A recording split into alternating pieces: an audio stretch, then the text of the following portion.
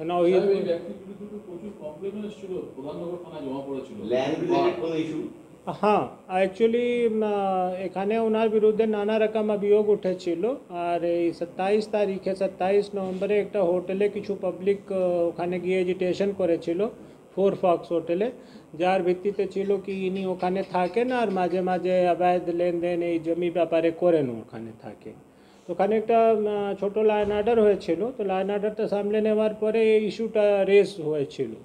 Then after be started inquiring in to the matter in the mean time একটা complain পড়ে এনার বিরুদ্ধে যা আমি বললাম ওই এক্সাইজের লাইসেন্স ফাইসেন্স নিয়ে কিছু টাকা পয়সা কারও কাছ থেকে নিয়েছিলেন।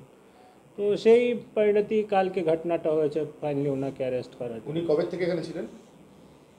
সেটা দেখুন হি ইজ নট কোঅপারেটিং সোফার আমি বললামই কী রকম উনি সিন ক্রিয়েট করেছেন।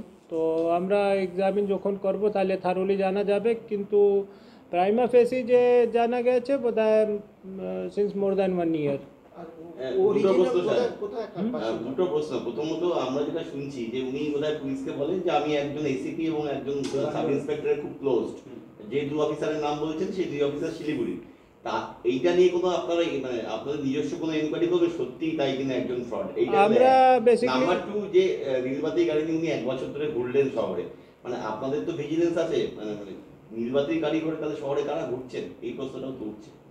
আমরা মাঝে মাঝে চেক করি আর পুলিশের অ্যালার্টনেস জন্যই ধরা পড়েছেন আর বাকি যে অভিযোগগুলো আছে তাকে আমরা ইনকোয়ারি করে দেখব। যেহেতু কেস অলরেডি চলছে তো কেসের তদন্ত হবে তদন্তে নানা রকম জিনিস হয়তো বেরিয়ে আসতে পারে যে দু অফিসারের নাম উনি বলছেন সেটা of course that will come under investigation কোনো রাজ কিছু পান্ডিয়া পুলিশের কোথাকার নাম বাসিন্দা করে- মানে অরিজিন কোথাকার সো ফার ভাই আমরা যা জানি বোধহয় Bhagalpur Bihar most probably current এর এমনি কোনো প্রফেশন কিছু আছে বা অকুপেশন ভাই আমি কি বলবো কি প্রফেশন আছে he has told that he is senior DC Matlab senior deputy collector আর তারপরে তো কিছুই নেই বোধ হয় মোস্ট প্রবলি পুলিশের নাম করে ইনি পুলিশের শীর্ষ আধিকারিকদের সঙ্গে পরিচয় আছে। এই কথা বলে অনেকের থেকে টাকা তোলার অভিযোগ এনার বিরুদ্ধে আগে হয়েছে।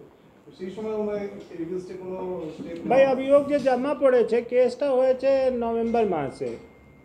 ঠিক আছে? তো নভেম্বর মাসে যখন কেস হয়েছে তো কেসের তদন্ত স্টার্ট হয়েছে তদন্তের ভিত্তিতে উনি ধরা পড়েছে। সো ফার আমাদের কাছে একটা কেস আছে আর একটা যে উনি পুলিশের উপরে অ্যাটাক করেছেন তার ভিত্তিতে আমরা একটু কমপ্লেন দিয়ে কেস স্টার্ট করেছি না এখনই কমপ্লেন কিছু আছে বোধ হয় বাট কেস একটাই